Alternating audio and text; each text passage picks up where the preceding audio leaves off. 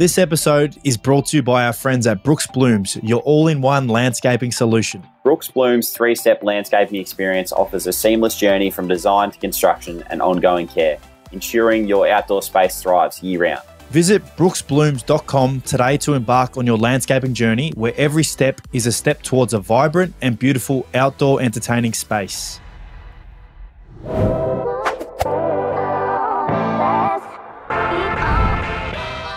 Welcome back, guys, to another episode of the Ads and Dunks podcast, exclusively brought to you by the Ausmerican Aces, and obviously our well, the best landscaping company in uh, in Australia at the moment, worldwide, in Brooke's Blooms. Um, it's Josh Dunkley here, one of your hosts, and joining me on the line is my good mate Adsy Treloar. How you going, mate?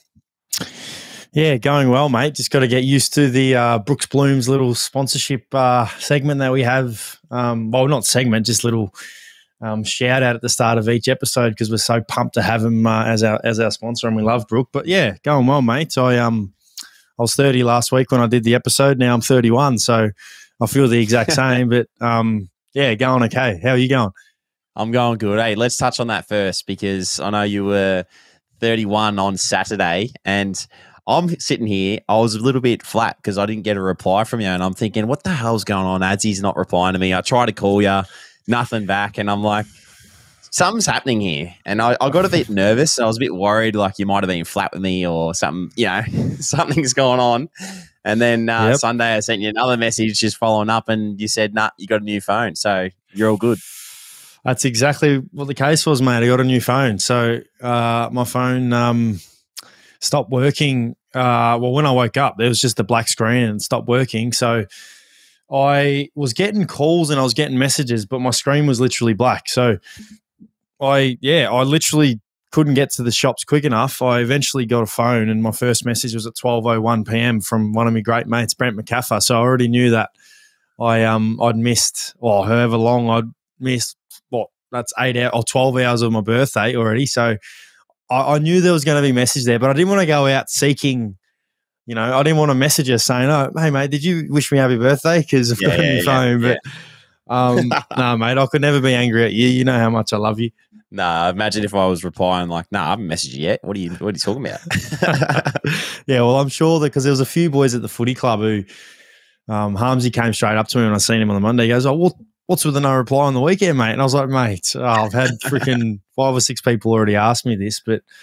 Um, yeah, had uh, had no phone, but now I've got a phone, so you can mess- message me away. The only shit thing about getting a new phone is having to worry about re-downloading all the apps and um, oh. making making sure everything's set up, and you know whether we do a lot of our uh, like footy stuff, for instance, in, in terms of our gym programs and everything off our phone. So got to set all that up. Go find out passwords that you haven't found out and well, I reckon I've only known one password since the first time I moved to the Bulldogs. So I had to go find a couple of people to organise my passwords. But um, yeah, that was probably the most uh, annoying thing about getting a phone. Nah, that's good. I was uh, I was trying to think of something to get you, and I see in the background now that you've got a brand new chair, well, gaming chair that someone's obviously got you for your birthday. So I've still got to get you something, and I I'm finding it really hard to find something. What do you want? um, well, I don't want anything, mate. I want your love. That's no, all I you want. Do. But um, you do. Nah, well, firstly, um, shout out to Kimmy and Jess. They uh, they bought me this chair for my birthday, and I've been uh, meaning to get one for a while because um, to the right of of the screen here, I actually have my little gaming uh, PlayStation as well. So I play a bit of NBA 2K and Madden. So it's very convenient to sit here and play a game and, and obviously sit and, and do the podcast. So, and obviously the first priority was for the podcast, not the gaming system. um, but um, it's a nice little chair, which I rate. But uh, if you're going to get me anything, in all seriousness, my watch yeah. is horrendous. Like my my Apple Watch is about six years too old. It dies halfway throughout the day. I can't track my calories. As you know, I love tracking my calories and tracking how many I burn a day and whatnot. So, mate, if you want to get me a new Apple Watch, get me a new Apple Watch. All right. I might have to take a loan out to get that one. But uh, hey, speaking of wristbands, I've got to mention this. Um, last week at our captain's run, one of these, one of the Hang fans, on, I can't see it. Yeah, I can't see it. One of the fans oh, yeah. in uh, in the crowd gave me this. Can you read that? It says ads and ads, it says ads, ads cross dunks. Oh wow! And then it's got your number, and then it's got the Bulldogs colours, and then I've got another one here, oh. which is a Brisbane Lions one. So it's Taylor Swift, obviously, um, kind of bracelet, and we've got a yeah. There you go. You've got another one here. So I'll I'll send this one down to you, and thanks to um the girl in the crowd that gave it to me. It's pretty cool. I thought they're sick. They are sick. I, I don't I don't take mine off. Mine obviously have Georgie Griffin and Sonny on there, but um, I'd definitely wear. It's fun. We're wearing the black band as well. Yep. I'd um, I'd definitely uh, wear rock the ads and dunks. Uh, Swift. What are they called? Swifties. What? No. What are they called? Swifty bracelet. Swifty, Swifty bracelet, bracelet. Is it?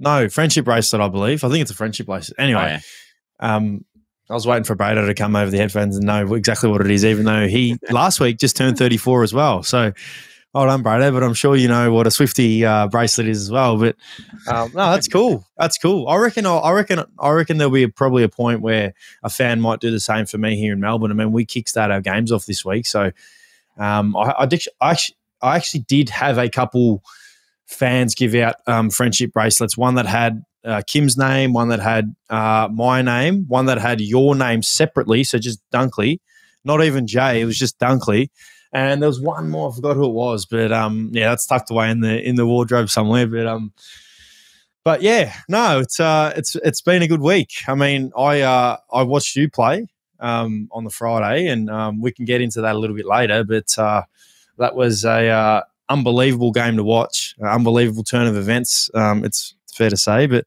other than that, mate, how was your week since the last time that we spoke?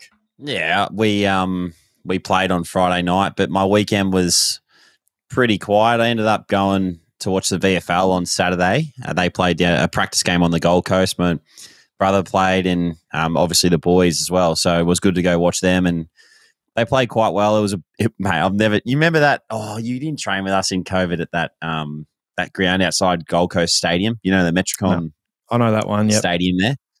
Well, this ground is like just known for a massive cross breeze. And on Saturday, it was blowing a gale I've never seen. It's so strong. And the boys were just trying to like pick apart, and it was just too hard to move the footy. So ended up being a bit scrappy, but went and watched that. Then called into the uh, Gold Coast races because Jada was strapping a couple of horses. So went in there and um, and then headed out to then headed back home. I had mum and my uncle with me as well. So Kaiser came along to the races after, and then we just headed back home and got some dinner on Saturday night, and that was really it, mate. Sunday was pretty low key. Uh, took mum and my uncle to the airport, uh, and then yeah, just pretty quiet week since then. Just a normal training routine kind of week. So it's been nice to have some visitors. I've actually got actually I should have mentioned this. Uh, I'm I'm doing some house renos in my like mm-hmm. for my main bedroom. Um, so Ash and Leah, you know Ash and Leah off the block. Do you watch mm-hmm. the block?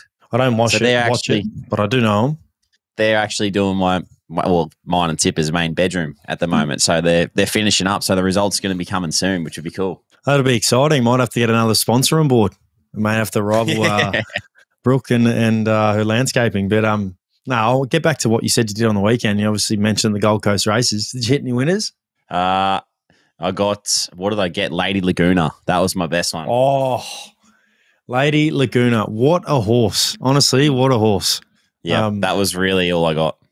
Mm, that was all I really did for uh, my birthday was watch the races. Imperatriz was a uh, little bit of a letdown, but I've got no doubt that you would have been probably riding the winner or someone else because that's just exactly what you do. You always go against the favourite. But um, no, I, uh, we're loving our racing. But um, other than that, to get anything exciting, anything anything else exciting to report before we get into footy? No, not really, mate. Not really. How uh, how's your week been? Obviously, you had the weekend off. Um, footy wise, like how's it been training wise? Did you have a big session on the weekend, or did you just have the weekend off to freshen up for round one? Uh, yeah, we had a um, we had a big session Friday, so a match parameter session, which was really good.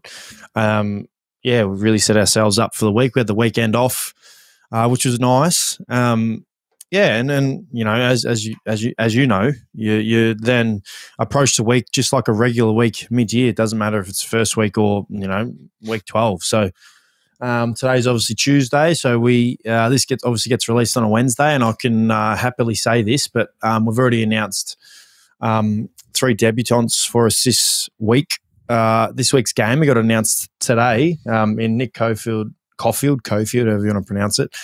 Um, Lockie Bramble and James Harmes, so three players from rival clubs who who have been, yeah, just yeah, incredible, incredibly um, refreshing. You know, coming into a new environment, not only for themselves but for us. Uh, obviously, experienced players who have experienced other footy clubs and environments, and um, you know, they, they came in with a, I guess, a point to prove and wanting to you know, solidify themselves, break into a team, earn the respect, and that's exactly what they've done over the preseason. So, so extremely impressed by all three of them. Um, you know, Lockie Bramble didn't really train with the main group until, well, mate, would have been when I trained with the main group. So that's what probably a couple of weeks ago because that's normally what I do. But um, that's that's how long. Yeah, he hadn't trained with the main group because he'd had a shoulder um, surgery at the end of last year. So it's shown. It shows how. Um, you know how much he's impressed all of us by him. You know, get confirming that he's debuting this week. So yeah, it's uh, that's kind of been the only unique starts of the week for us. But it's been it's been a good week. We're able to watch Melbourne play. Obviously, last Thursday. Got a good gauge on on um, you know more so the team that they're going to present and how they want to play and whatnot. And um, yeah, it's you know it's cool because the real stuff is back. So um, it'll be funny because you would have already played two games before I've even played one game. Um, which I um which I laugh a little bit about, but yeah, the week's been pretty cool, and um, yeah, just gonna uh, obviously keep uh, keep uh, anticipating for the week to um, go as normal, and then yeah, we go from there and play Melbourne. Are you pretty keen to to get stuck in it? Probably a stupid question, not, but you know, preseason, everything sort of happens really quickly. I feel, and then all of a sudden, games are upon you. Like, do you feel ready ready to go? Yeah, absolutely. Yeah, I do. I um.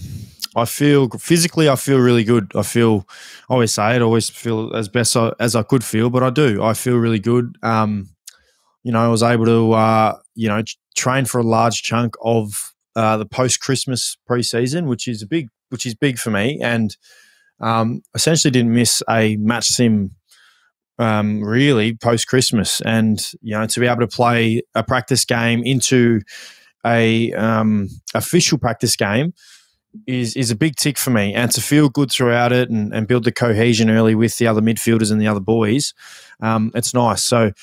I personally feel really good. I know the guys are, are really, really antsy and, and just can't wait to get out there. I know watching uh, the games on the weekend, they, um, you know, it's what most boys w- were talking about when we came in on Monday because um, obviously there was games and everyone's just really super excited to get out there. We we know that. Um, you know, we know the hard work that's gone into the preseason and the drive that we're all trying to drive forward for our group. Um, and we know if we bring our standard of footy and how we want to play, the sky's the limit for us. Um, feel like there's a really good balance between youth and experience. Um, and been really impressed, as I said, with the guys that have come through already.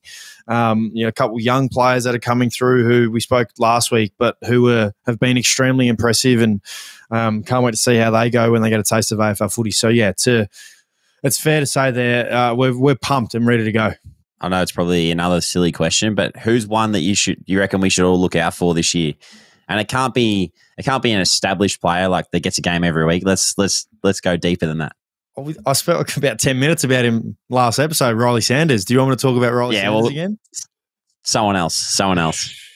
Um, yeah. Well, so Sando's the one for me. I think outside of Sando, I think Oh, there's guys that who don't really get that much recognition. I'm trying to think because I mentioned Buku Khamis, who's been, you know, who's probably been our most impressive defender all all preseason, off season with Liam Jones.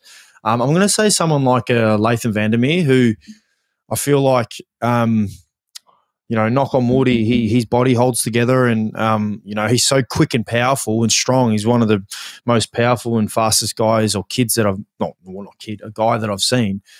Um, it, you know, sometimes he's too quick for his own good, and if you get a soft tissue here or whatever it may be, but he's been able to string pretty much the whole preseason together without any issue. And when he brings his speed from the position that he plays, which is typically as that high forward, the role that you know is probably the hardest position in the AFL, which is that high half forward where you got to get up and back, up and back, up and back, put pressure on, bring your speed to the contest.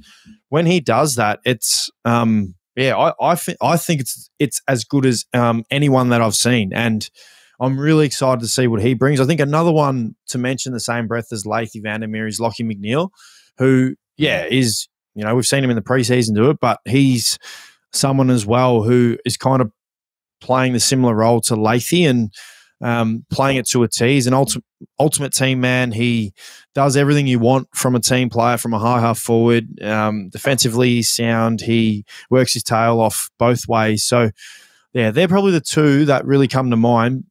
Outside of obviously, as I said, Riley Sanders, and I think there was a quote today that that uh, that Bevo said in the in the media that um, he's never seen anyone in, in his time of footy come in the doors and be as impactful as he has as an 18 year old. And as I said last week, mate, this kid is unbelievable. He is something special. So, um, we do a lot of our we do a lot of our stuff together. So I do all my training with him, all one on one stuff with him. Um, literally everything we do together, all our tackling stuff. So you could imagine too.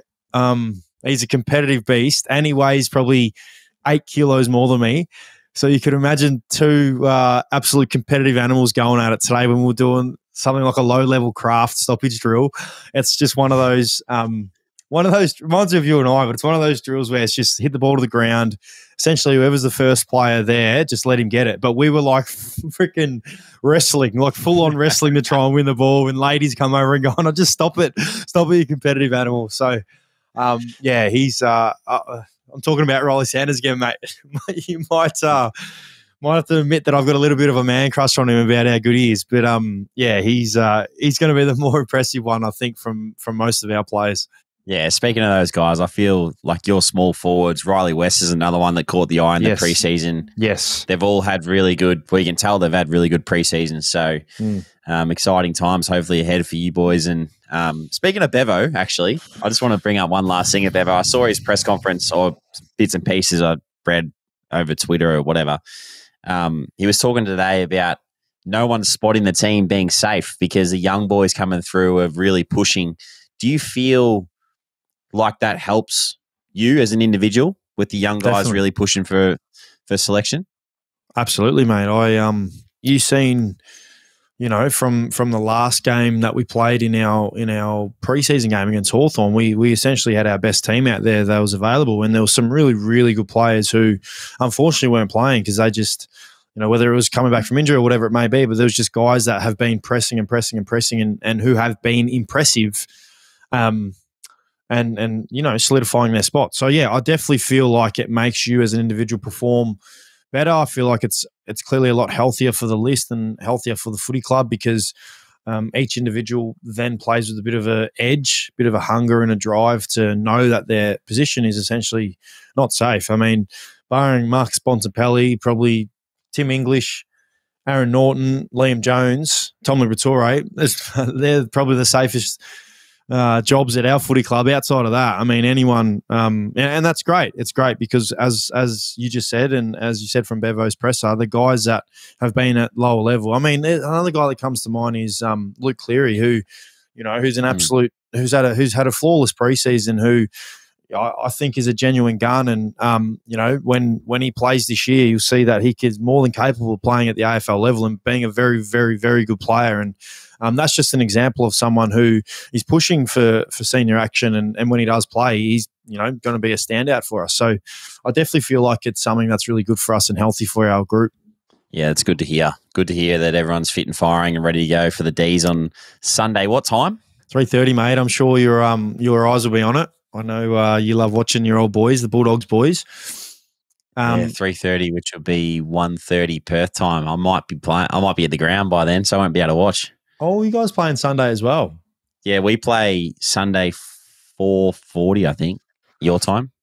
Mm, all right. Well, I'll be checking yeah. straight after. Well, yep, I'll be checking straight after. Um, I guess speaking of you guys, before we touch on, uh, you're playing Freo, I presume, or West Coast, obviously. Yep. Freo. um, to Perth, yeah, playing Freo. uh, oh, that's good. Before we touch on that, we'll obviously uh, talk about uh, your absolute blockbuster of a game, um, a tale of two stories. Uh, you mm. started off like uh, the absolute premiership favourites. Um, had a blistering first quarter, first half, really, and then yeah, then uh, it obviously fell apart from there. Um, you know, I guess I'll let you do the talking. Where where do you feel like it kind of went wrong, and and what are the learnings you take out of it? Yeah, I mean, I'll probably start with the first quarter and a bit, quarter and a half, I guess. Um, it was some of the best footy I reckon I've ever been a part of. Like just the way we were both offensively attacking them and defensively killing their offense was just incredible. And I feel like as a player, you're always searching for that feeling and you don't get it for long. But when you get it, it's like so you're just such you're in a groove. Like it's and it felt like that early on in the game. And then things happen and I don't know, there's been a lot of people talk about it, but I, I think every single one of us as an individual probably take moments back during that latter half of that second quarter. Um, I feel that's where we let ourselves down a little bit, let the foot off the gas pedal a little bit. And, you know, any team these days will take it up to you and, and roll you. So for us, it was a, a bit frustrating upon reviewing it. Um, those moments then turned into them obviously getting a bit more of a run. And, but in hindsight, if you look at all the stats in the third quarter, we actually had more inside 50s and we had a similar amount of shots in that quarter. We just didn't kick our goals and they did. So there was a moment of that. Yeah, there's a lot of moments that we probably wish we had could have had back and potentially have scored. Um, but in the end, I mean, we played a, a team in Carlton that were very hungry and you know made a prelim final last year, so they know they know no rollover. That's for sure. Like they're a great team and they came back and won and probably, oh, definitely deserved to win on the night. So um, disappointing result from for our, from our point of view, from considering where we were at in the in the first quarter or first quarter and a half, second quarter, even half time. So um, we reviewed it pretty open and honestly too, which was good. And then uh, we look forward now to to what we can do this week against the the Dockers. I guess touch on the review. Um, speak about what you can speak about. You know, a lot of things stay within the four walls, but what was the, I guess, the message of the review? Was it, you know, I've, I've obviously read a few media reports and outlets, if you want to call it, and a lot of it says complacency and, um, you know, players clearly, well, you know, I've, I've, definitely been in that position before where sometimes it does creep into your mind that, oh, well, uh, this is probably a little bit too easy. Probably don't try as hard defensively or whatever it may be. Not saying that was is what the case was, but yeah, what was the review? You know, like that, or yeah, what was the review more about? Yeah, it was like that. We looked at a few moments where, you know, individuals that, you know, might have had an opportunity to do something and they didn't, they chose not to. Um, whether that was putting pressure on or following through on a, I don't know, trading, you know, running past a player and switching with your teammate to then help him out, and then that helps you. But none of that was going on, so the team stuff wasn't really there, um, which was disappointing. And but it was only really for like a patch of about 25 minutes because we looked at it. We looked at the whole game across the whole game. And yeah, it was about 25 minutes that all this stuff happened. And then the rest was was good again. So it doesn't take long for opposition teams to get involved in the game and, and come back like Carlton did. But we also looked at our missed opportunities as well. So if we had to kick those goals, then they don't go up the other end and score. And potentially it, it builds our lead. So little things like that. Um, throughout the night cost us for sure. What about yourself individually? I mean, I seen you got three coaches' votes. I think it was three. Um, so you clearly had an impact on the game. I know you'd be a little bit harsher on yourself, but how did you feel like you went individually? How'd you feel?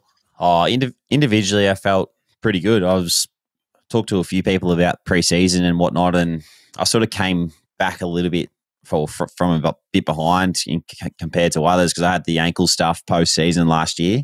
So I sort of hit the ground running four weeks before we went back. So I didn't have a lot of time to build my fitness and whatnot. So I've sort of feel like I've gone on that gradual incline into into the year and I felt great out there covering the ground. Normally, I remember last year I was cramping in like the third quarter up here in mm. the in the sunshine and the, the heat. So it was nice to feel that way. Um, first half, I felt like I was you know having an impact. Played a bit more forward, which was which was good. Um, like playing up there, like I said to you, I want to kick a few more goals this year. So hopefully that happens, uh, you know, throughout the season. But my third quarter, I was a bit disappointed in, even though they had a bit of momentum, didn't have a huge impact. I was playing on Cripper around the ball and stuff and felt like I could control him. But outside of that, they just kept, you know, winning the footy and controlling the footy. So we didn't get much opportunity to actually take it off them and, and get involved. But, uh, fourth quarter again got going again and sort of try to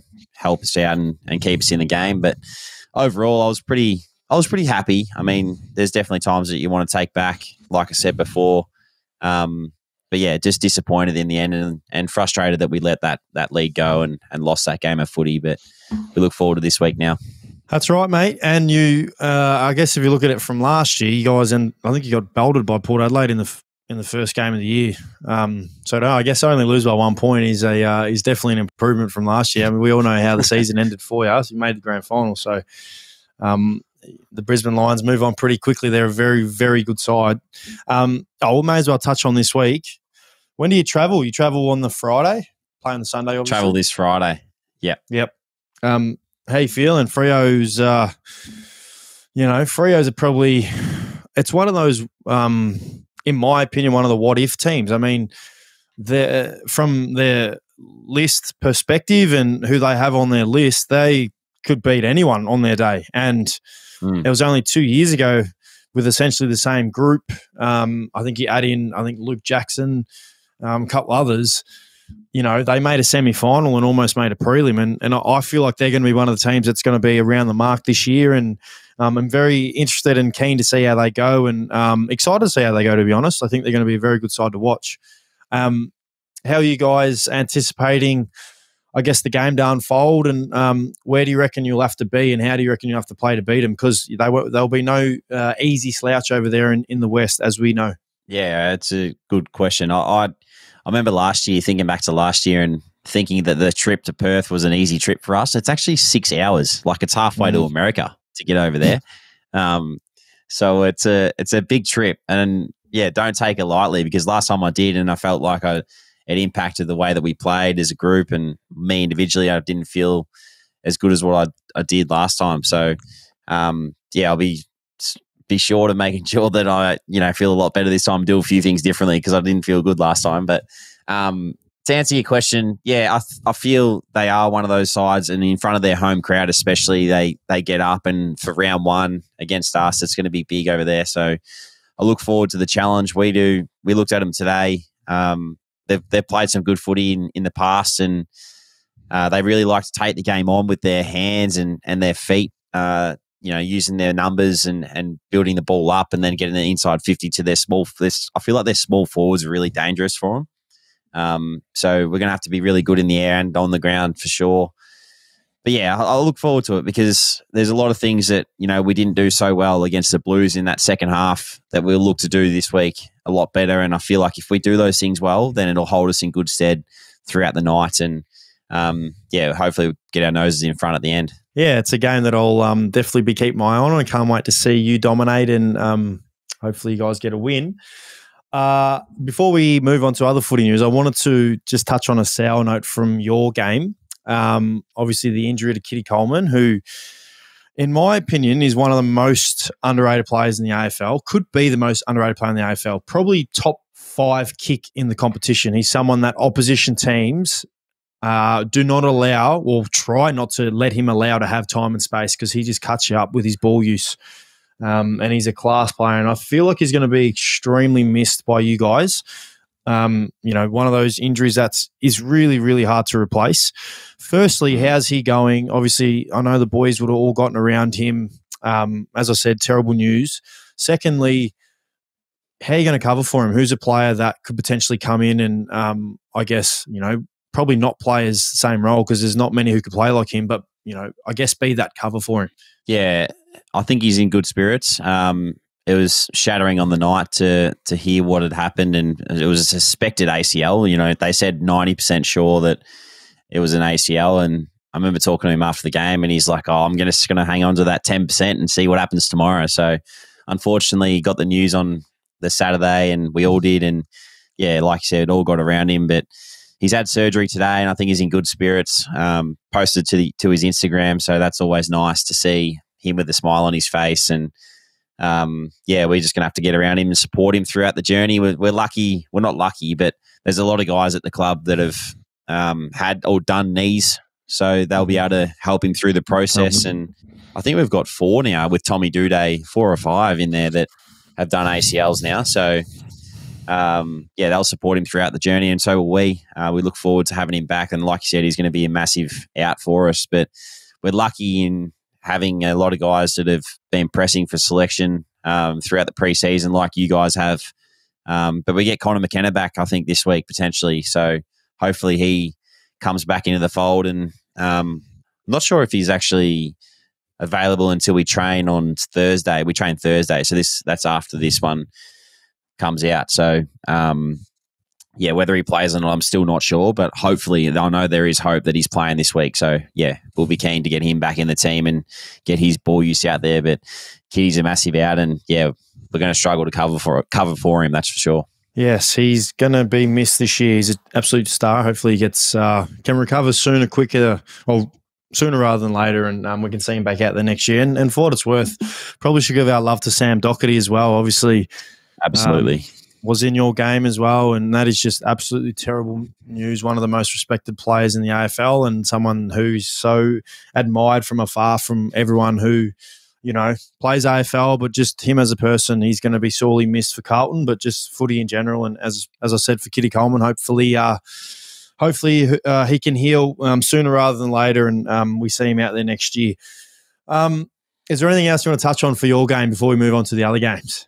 Nah, let's talk about yours. We, we, have sort of touched on yours a little bit, but what are you what are you looking forward to? Obviously, got the D's, and it's a bit of a. Do you think it's still a rivalry in terms of um, playing against each other? You, have got Harmsy now, so there's there's another layer to it. Oh, I wouldn't wouldn't say as much as it was post the twenty one granny, um, and even before that. But no, I don't think I would say it is. It is as much as it. You know, you'd say a. Uh, a Bulldogs Giants game, or um, yeah, that probably is the one that comes to mind. But we definitely love playing against Melbourne. I mean, the last three years we've played in round one, so well, two years plus now this year, so three times. Where so each year uh, we know the schedule's coming out. We're just presuming we're playing Melbourne because um, that's what the AFL loves doing for us. But um, uh, yeah, I I I'm excited, mate. I I, f- I feel like.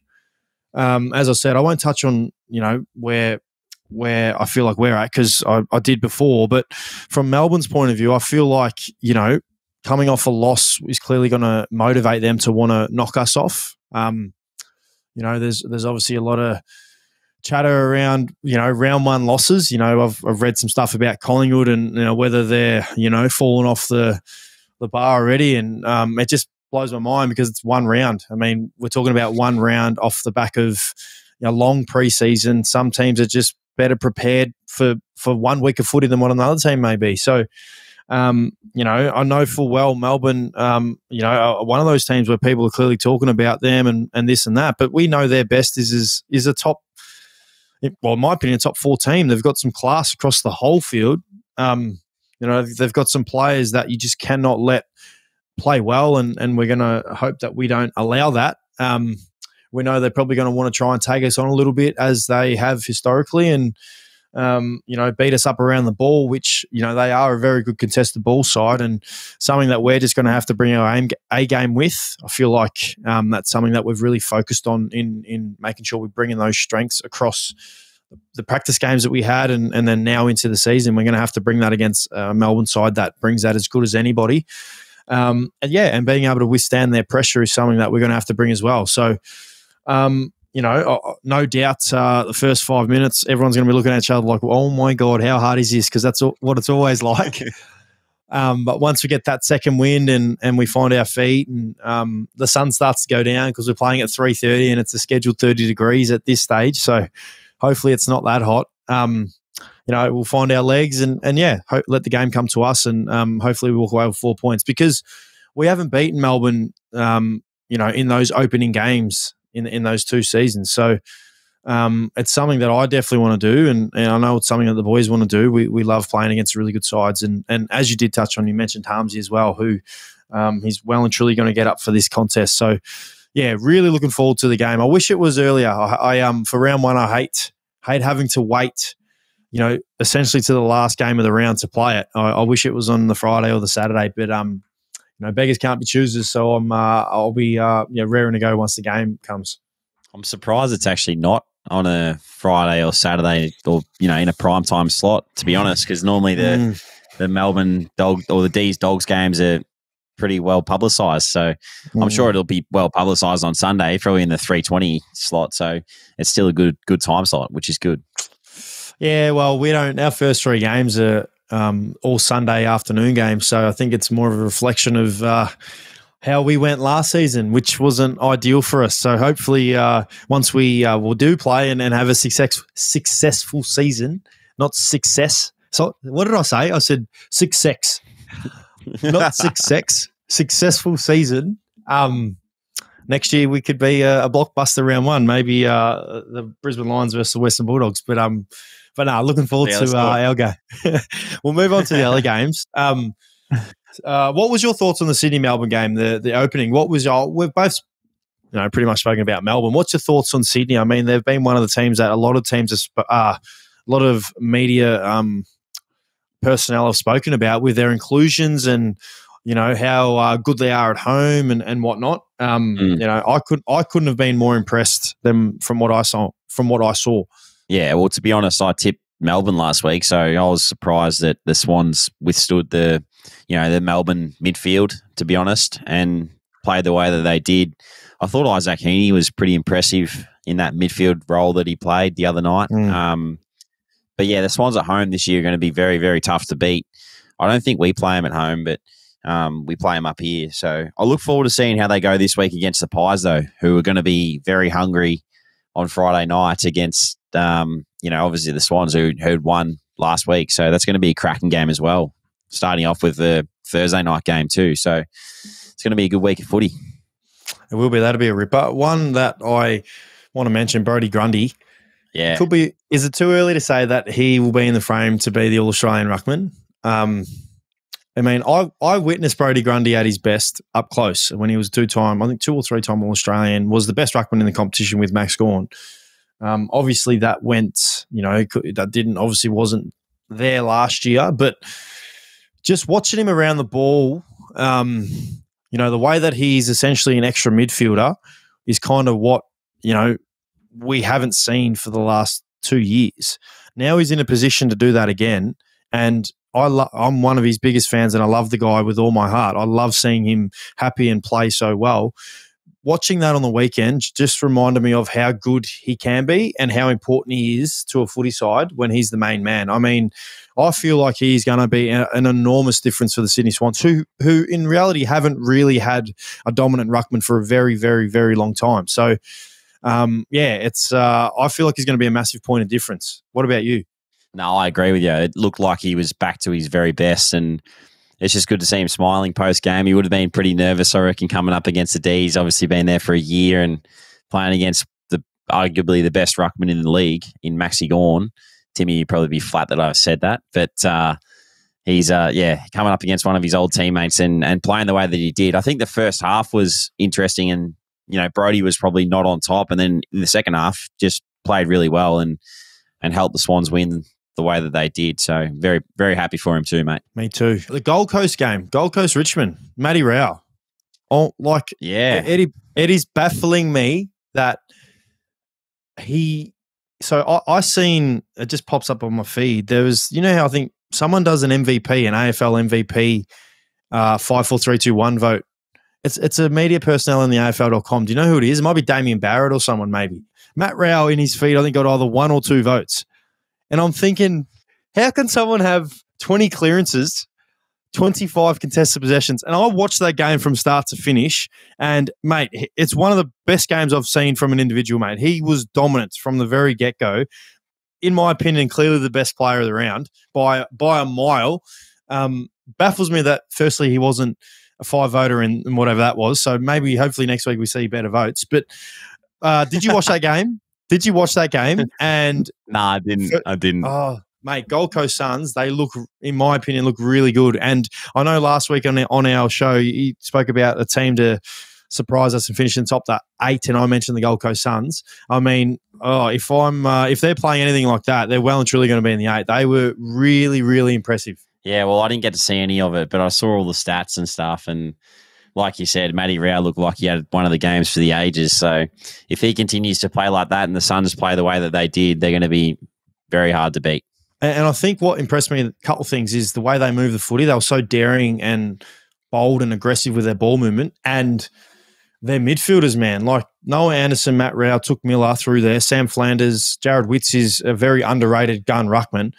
mate. Yep. They're they're going to rival any midfielder in the comp, any midfield group in the competition. So look out, everyone who plays against Gold Coast Suns. Um, and then the Saturday night game. Did you watch that one?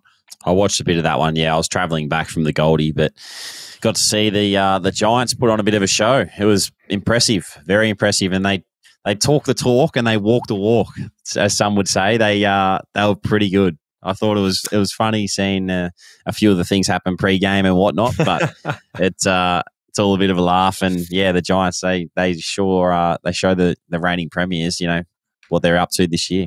I didn't. See, what happened pre-game? I didn't see it. oh, Brado's Brado's mate Coxie is uh, doing the ruck work for the opposition by the looks. I'd love to have seen um, Mason Cox and Shane Mumford in a real game as two genuine ruckmen because uh, yeah, that would have been uh, a great contest. But um, terms of the game, I mean, you know, the Giants again, I think are going to be thereabouts, top four team. I mean, they they are going to be very hard to beat at home. Uh, they clearly came with a hunger, which was which was uh, great to see because I personally love watching the Giants play. Um, and the the way that they won and how they won comfortably, they did all that whilst Toby Greene had a somewhat quietish game and wasn't up to his you know dominant tricks, which just should scare opposition teams because if he gets up and running and you know the team is playing the way they are, they're going to be a good team to play against and watch. So that was a uh, a great game to watch. Um, anything else footy wise you want to move on? Is there anything this week you're looking forward to? Any games other than my game, obviously, because I know you'll be excited to watch your old boys play. But is there anything that you're keen to watch or uh, keen to look out for? Um, nah, I'm just keen to watch footy again. You know, in Melbourne, obviously the the opening round was up in the northern states, up here in Brizzy and and in Sydney as well. So it'd be cool to see a packed MCG crowd on the TV, uh, starting with Carlton Richmond. We should do our tips before we move on, actually. Let's go through our oh, tips. Yep. Carlton right, Richmond the- on Thursday night.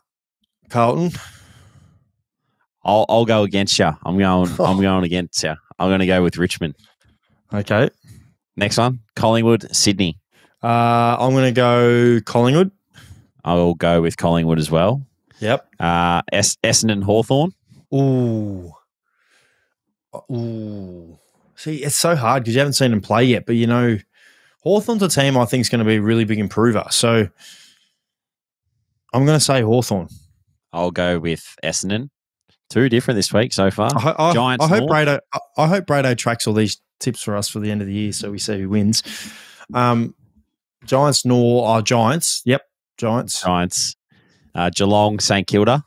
Ooh, where's that game at? That's at GMHBA. Ooh, what do I think? Geelong, St Kilda. I'm going to say because it's at home for Geelong. Geelong. I love how serious you're taking this. I'm going to say Geelong too. the Suns and the Crows.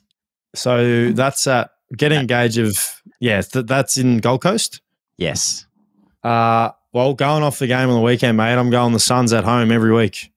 Oh, I'll tip the Crows then. If you're tipping the Suns, uh, D's dogs. Obviously, you're going to say dogs. I'll say nice. I'll say dogs too. Um, Port Adelaide, West Coast. I'm to say Adelaide Port Adelaide.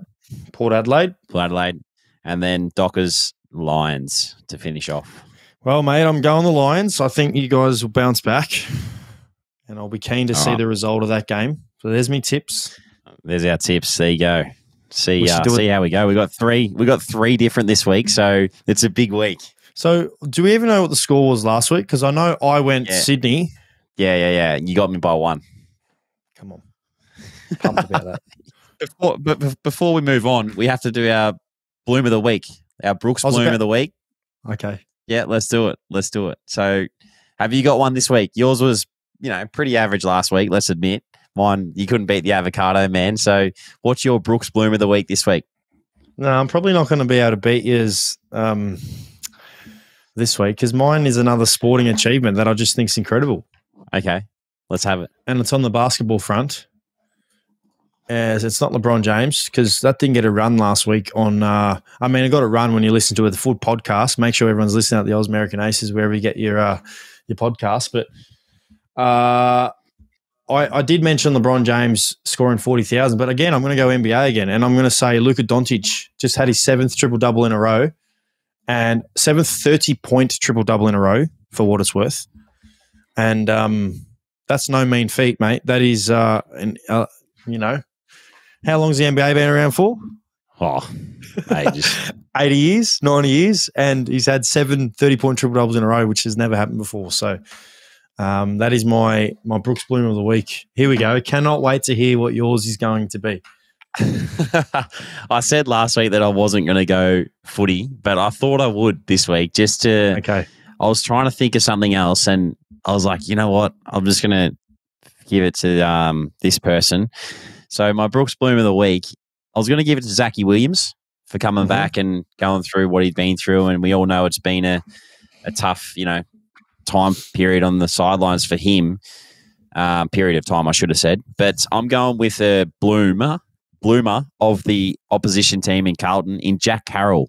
I thought he came on on the weekend and played a really important role in their in their comeback. And I played on him a, a little bit at some of the stoppages and whatnot. And he's he's good size. He's, he's a good kid, and um, you can see that he really means business. So I'm going to get around him for the Brooke's Bloom of the week because I think he's going to be a, a, good player. That is very sweet of you, mate. That is very nice. I hope uh, I hope Jack watches our our podcast and has a listen um, because he'll love that. I mean, I did see that too, and he was yeah he he was a big turning point for the boys when they for the Blue Boys when they came on. Um, so I couldn't agree more. But uh, no, it's good. Well done. I cannot wait for next week's Bloom of the Week, and I'm going to go. I'll go from the I'm going to make sure I go away from the American sports. I'm going to try and find something here, whether it's you know AFL or whatever it may be. I might find something a little bit quirky for the Brooke's Bloom of the week, as you did with the avocado. But um, well done, well done. Thank you, mate. Thanks. um, I want to I want to talk to you about uh, something that I'm extremely passionate about, which unfortunately we have to wait. What month in it? What month? It is March. We're going to wait another well, my watch is dead. Remember, I asked you for a new watch. I was about to see the month, but I can't see on my watch. Uh, the NFL, mate. Did you see trades today? I did. I saw some incredible trades when I woke up this morning. I was blown away. Saquon Barkley to Philly Eagles is that's big for me. To touch on the Saquon, for those who don't watch the NFL or care about it here in Australia, that is essentially like going from Carlton to Collingwood or Essendon to Hawthorn. It's just one rival to the main rival in the in the uh, in the NFL. So um, to fair to, to, it's fair to say he's copped a lot of hate for it, um, leaving the Giants and going to Philly. But I love it. I think he's going to be. I think Philly. They're, early, they're my early tip right now for the Super Bowl. They're going to be incredible. But mate, Kirk Cousins going to Atlanta, as you said. Austin Ekeler. D'Andre Swift going, Tony Pollard leaving. Um, apparently, Justin Fields is going to get traded, which means Caleb Williams is going to go to Chicago. Uh, it is, yeah, mate. As you could imagine, me waking up today and seeing all this news, I was like a, a kid in a candy store. I couldn't stop reading all my NFL stuff and wanted to do. I wanted to do an NFL mock draft at that stage, but I knew I couldn't because I got to wait for the uh, wait for the draft. But fair to say, it was a good day. the one that surprises me too is Aaron Jones. Well, They're, mate, who do they who did they get? They got um, Josh Jacobs. Josh Jacobs, that's right. Yeah, and they did the same with Joe Mixon. Did you see that at the Bengals? Yes, yes. They released him. Crazy. T, Tee Higgins wants to get traded, which yeah, mate, all that stuff just blows my mind. All all over there in the um uh, in the American world, it makes me think. Makes me like, have I have we ever spoken about potentially?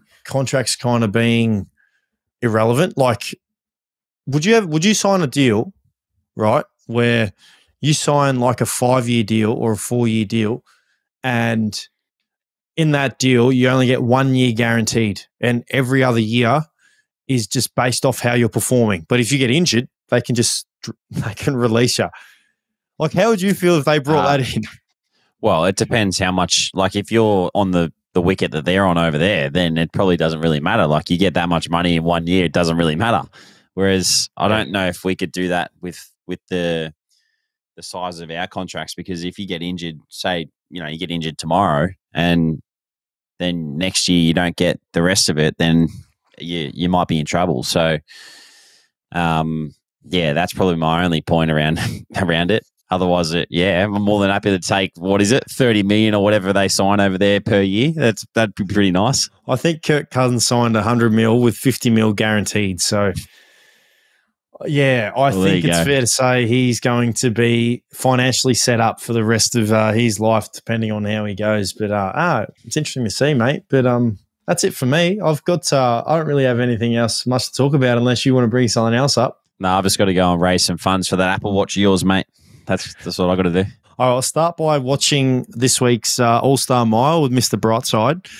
Um, oh yeah, I would love. I want to know if you think Brightside wins, or are you going to go with? Uh, all right, go. Who are you going with? I saw he drew barrier eleven or something out of twelve. So no, I don't think he's going to win. I think he's going to be too wide. Does not matter when it comes to the bright side. Your favourite horse actually is running in it, Pride of Jenny. I saw that. I haven't had a good enough look, mate. I am not sure. I can't tip you anyone. Need, you have to give it. All right, no, no, no. You got to give a tip. You got to give me a tip, mate. The All Star Mile is a big race this week. For our listeners out there, we've taken a real big, keen interest in the horses. I right now I'm going to go to uh, the the field, right? So All Star Mile, which is right here. So you've got Mr. Brightside, Pride of Jenny, Cascadian, Ayrton, Buffalo River, uh, Munya Mech. Where, where did uh, where did Cascadian Cascadian draw like draw? I think barrier seven. Um, and then where's Pride of Jenny next to it? Bar- barrier six. Brightside barrier eleven. Ooh. Cascadian or um, Pride of Jenny over Brightside. You are on, Shake. You are on. I am happy to roll with Mr. Brightside, the uh, the champion mile sprinter at the moment. Anyway, mate, that's uh, I reckon that's it for another week. Yeah, no, nah, it's been a good one, another good podcast. So um, thanks to Brooke and her team at Brooke's Blooms for um, their support as always. Uh, we look forward to the year ahead, and thanks everyone for tuning in and listening. Uh, we look forward to getting back on here next week and and talking a bit more smack, Adsy. Looking forward to it, mate. Good luck. All the best. You too, mate. Cheers. This episode is brought to you by our friends at Brooke's Blooms, your all in one landscaping solution. Brookes Blooms three step landscaping experience offers a seamless journey from design to construction and ongoing care, ensuring your outdoor space thrives year round. Visit brookesblooms.com today to embark on your landscaping journey where every step is a step towards a vibrant and beautiful outdoor entertaining space.